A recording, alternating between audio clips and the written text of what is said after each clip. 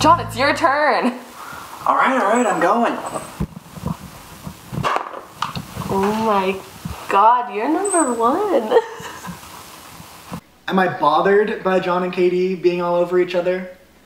No, you know what? I, I love it when couples literally just rub their relationship in my face. Just love it.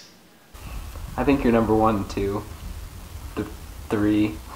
Get it? Sarah and I have been spending a lot of time together recently. Just as friends, though. I mean, I don't even think about her that way. I mean, she's nice and pretty. Um, okie dokie. Uh, how about Clue?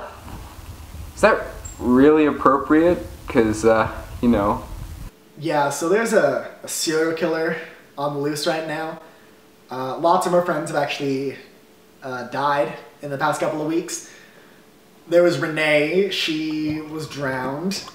Uh, Mitchell was suffocated. Uh, Ellie was poisoned. Kevin was given a lethal dose of laxatives. And Karen, she uh, slipped on a banana peel and cracked her skull. That one probably wasn't the killer. Uh, I mean, who would use a banana peel as a murder weapon? It's tragic. Katie, we're here to avoid talking about murder, not play a game about one. I've never been a fan of Katie. There's just something about her that I kind of can't stand. I don't know. Oh, I'm sorry, Sarah. I didn't mean to remind you that all of our friends are being picked off one by one. How about the game of life? Is that better? I've never been a fan of Sarah. There's just something about her that I kind of can't stand. I don't know. Hey, Tommy. What's up, little man? Me and Mom are going to the store. Do you want to come? Got in the middle of something here, dude. All right. Do you guys want anything? You can get me some pre-workout if you see any. We're good, thanks. Try not to die while you're gone. No promises, but you guys are the ones all alone in a big, empty house with a serial killer on the loose. So really, who's in the most danger here? uh, does your mom need any help with the groceries? I think me and Mom can handle it. See you later, Tommy. Peace out, Ollie Pop. Finally, some privacy. Who's down for some strip poker? No, vetoed. Spin the bottle?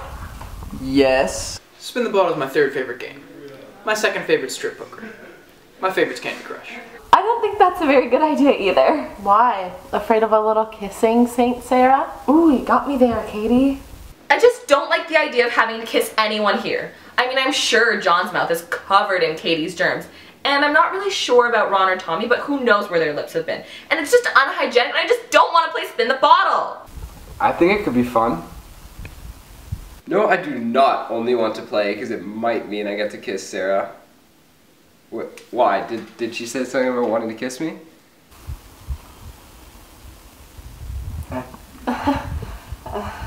Oh, what a coincidence. Shocking.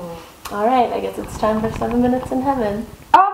According to the WikiHow page, that's not supposed to happen until the third time you land on them. Not the way I play it.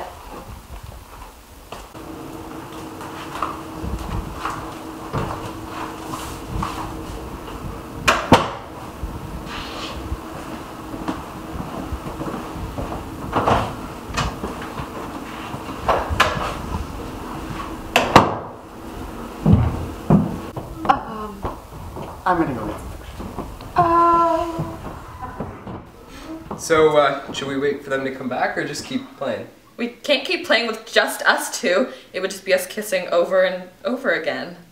Yep, can't have that. So, sh- when they come back, we could just. Yeah, no, no we can't. I mean, it could be fun. No, no it couldn't.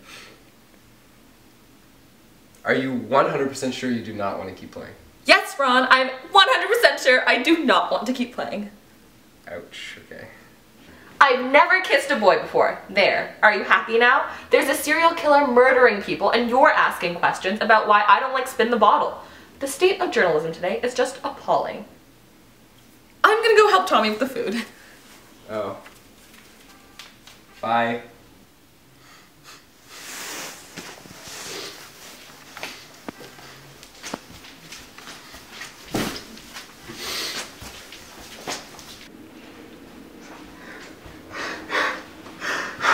Oh.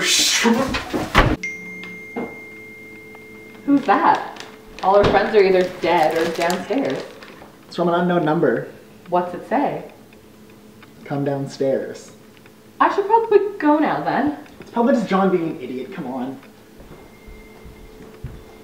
Tommy, this is a horrible idea. Sarah, we are going to be fine, okay? I promise. There's absolutely nothing to be scared of. Ah! Listen here, ladies. This is why you never let a man take you anywhere. You'll end up face to face with a serial killer, guaranteed. Please, please let us go. Ollie, are you kidding me? Hmm. You look much taller with the mask on.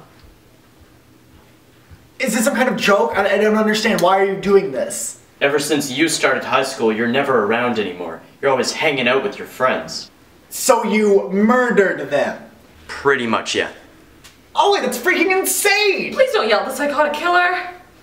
Ollie, buddy, you, you don't have to do this. We can hang out whenever you want. Just please do not kill us. Oh, Tommy, I'm not going to kill you. Just her. Then it'll just be you and me forever. Well, and Mom.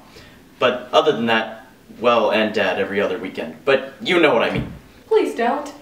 Ollie, you don't have to do this. Yes, I do. I'm doing this for us, Tommy. For our family. She's the last one in our way. No, she's not. I'm a lifeguard.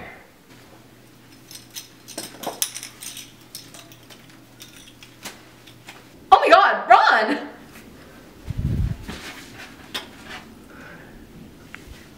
So I called the cops and they came and arrested Ollie, which was sad, but I think he's doing well, you know, all things considered. Tommy comes to visit me all the time. I see him more than ever. So in the end, I think everything worked out okay. Well, except for all those people that are dead because you murdered them. So after Ron saved us, I totally realized I saw him as more than a friend.